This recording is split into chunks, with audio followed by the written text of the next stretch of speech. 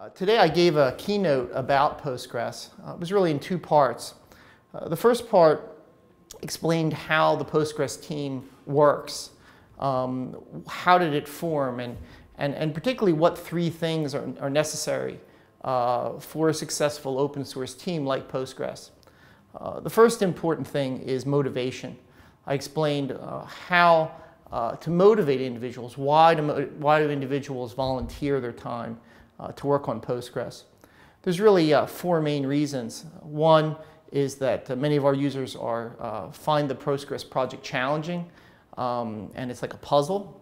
And they have an opportunity to work on really interesting problems, often more interesting than the problems they work on at home or at the, in their work. Uh, secondly, many people have practical needs for Postgres and therefore um, are adding features that they're going to use once they're implemented. Uh, the third thing, some people get involved uh, in Postgres for personal advancement, um, learning new skills uh, that might be useful someday. And some people get involved because they're interested in helping open source and helping uh, contribute software to the, to the greater good, the greater uh, software world. Um, second part, I explained that um, that the communication problems for an open source project are unique. We don't have any funding, we don't have any money, we don't have any assets, so we have to use uh, very creative ways to keep our teams working together.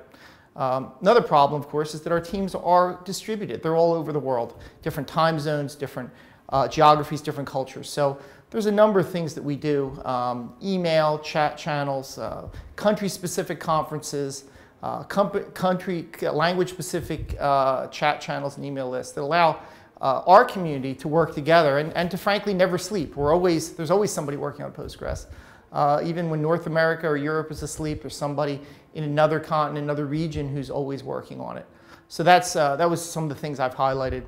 And the third thing is the, uh, the, program, the project development. How do we do development? How do we coordinate so many people together? Um, and how do we kind of keep them all working uh, on a common project? Uh, how do we keep the quality high? And how do we um, make sure that Postgres remains um, a very reliable and, and stable database that, that everyone can count on. So those are the three things that I really talked about. Um, the idea of motivation, the idea of communication, the idea of, of project development in the first half of my talk. Uh, the last five minutes I really covered um, the future of Postgres. Where do I think it's going? And I think uh, the real takeaway is that when I started with the community and I, we started Postgres, uh, it had a very limited user base. Very few people used it for any production type of work. Uh, and even as of five years ago, there was still a lot of uncertainty by companies. I'm using open source, it's a database, is that really safe? What if I have a problem? There was all these uncertainties. In the past couple years, it's really seen a big change there. We've seen a lot of new dedication, companies that are willing to be very excited and very open about their use of Postgres and are willing to sort of take all their data needs and put them in Postgres and rely on it. So that's kind of a new thing uh, for us.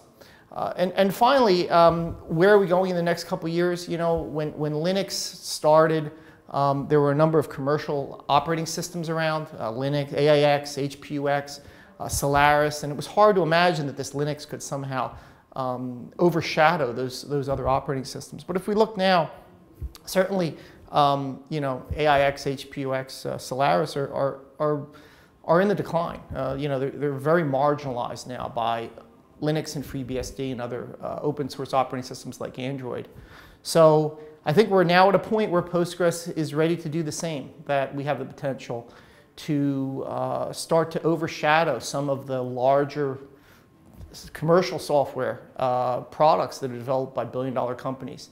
Um, you would think it's impossible, but you also would never have guessed that software produced by HP, IBM, and Sun could somehow, you know, be, be minimalized uh, by this open source uh, thing called Linux. And I think we're, we're potentially looking at the same thing here uh, in the next coming years with Postgres.